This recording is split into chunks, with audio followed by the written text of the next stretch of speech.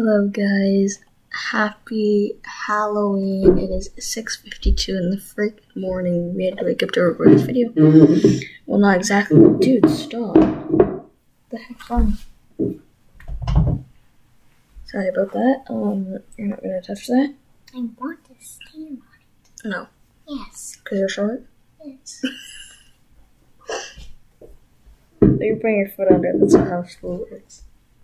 Okay. so hey guys, um, I am Captain America, as you can see. Oh, and wait, hold up. Your boy got a clean cut. Hashtag Romeo for life. Um, if you move over, Easton's kitty cat. We have our elves. They came early actually. Um, yeah, they brought candies and stuff. It was pretty Why are you in lit. Why are you in the box? Yeah, our elves is in the box, as you can see by the boots. Right here, as you can see. Um, and I want to do one more thing before we end this video. Um,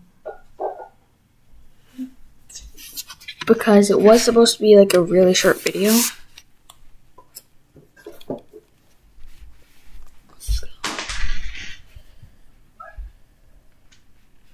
It was supposed to be like a really short video. Um, so these are the Halloween candies we're, get, we're gonna be able to eat. So this year, due to the virus, sadly, me and my sister won't be able to go trick or treating, but we are having a, a, a- among this entire humongous house. Not trying to flex, and then our dining room right here. We have this candy, this candy, my favorite white Hershey's, and this. This is. I want this is I want I know what you guys should do today. Comment below what is your favorite type of candy.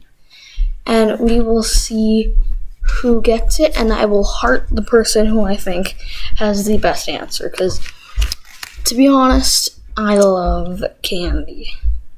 Especially the white Hershey's. That's really good. And the mini rolls. And there's some candy in those boxes I've never had, so that will be interesting. But I just wanted to do a quick little update. Um, we will see you guys in the next one. Yeah. Easton Scallias. out. Happy Halloween. Happy Halloween.